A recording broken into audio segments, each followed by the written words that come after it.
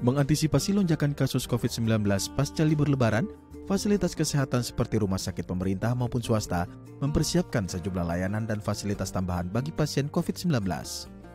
Asosiasi Rumah Sakit Swasta Indonesia menyatakan, 1.903 rumah sakit swasta siap menjadi fasilitas rujukan dan menerima pelayanan bagi penanganan pasien COVID-19. Salah satu rumah sakit di bilangan Jakarta Barat menjadi salah satu fasilitas kesehatan rujukan pasien COVID-19 yang merasakan peningkatan kasus COVID-19 pasca momentum lebaran. Ketersediaan kamar maupun ruang isolasi di rumah sakit ini mengalami peningkatan yang signifikan dan hampir penuh. Mengantisipasi lonjakan kasus yang terus meningkat, Rumah sakit di bilangan Grogol, Jakarta Barat ini sedang mempersiapkan bangsal baru dengan kapasitas hingga 18 tempat tidur isolasi untuk penanganan pasien COVID-19.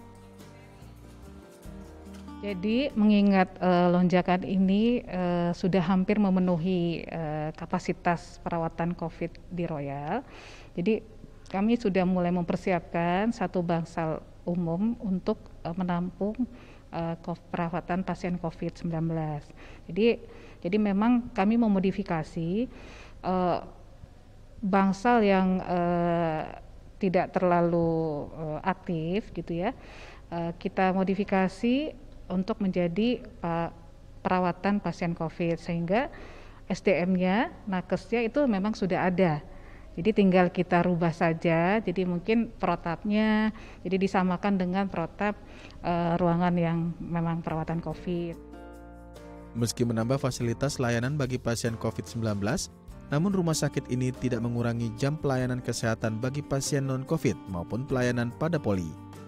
Agar tidak terjadi penularan antara pasien non-COVID dengan pasien terkonfirmasi positif COVID, rumah sakit ini menetapkan sistem screening yang ketat dan alur pelayanan terpisah.